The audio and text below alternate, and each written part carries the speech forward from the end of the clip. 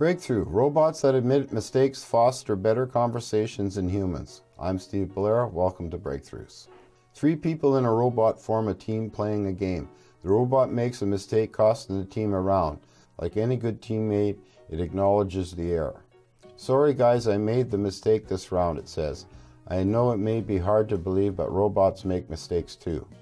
This scenario occurred multiple times during a Yale-led study of robots' effect on human-to-human interaction.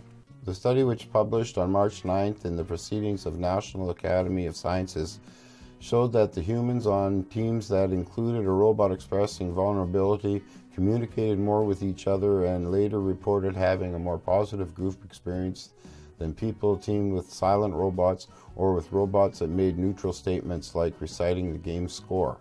We know that robots can influence the behavior of humans they interact with directly, but how robots affect the way humans engage with each other is less well understood, said Margaret Traeger.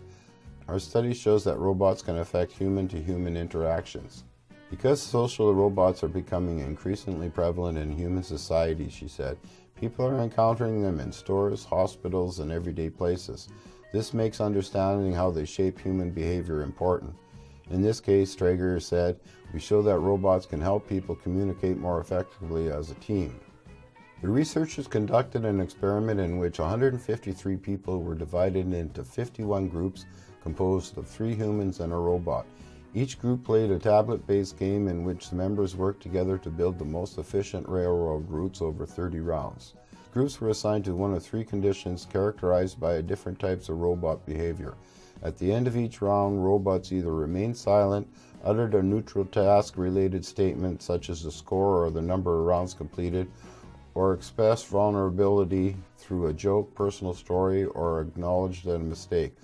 All the robots occasionally lost a round. People teamed with robots that made vulnerable statements spent about twice as much time talking to each other during the game, and they reported enjoying the experience more compared to people in the other two kinds of groups, as a study found.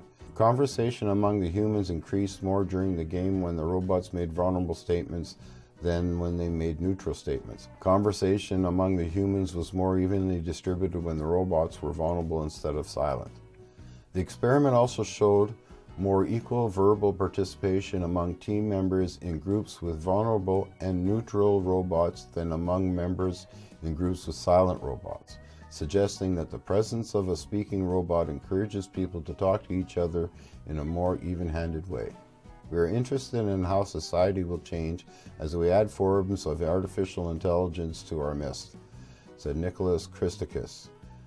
As we create hybrid social systems of humans and machines, we need to evaluate how to program the robotic agents so that they do not corrode how we treat each other. Understanding the social influence of robots in human spaces is important even when the robots do not serve an intentionally social function, said Sarah Strohkorb Sebo. Imagine a robot in a factory whose task is to distribute parts to workers on an assembly line, she said.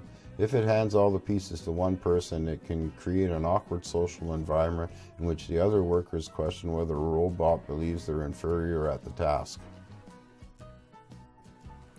Our findings can inform the design of robots that promotes social engagement, balanced participation, and positive experience for people working in teams.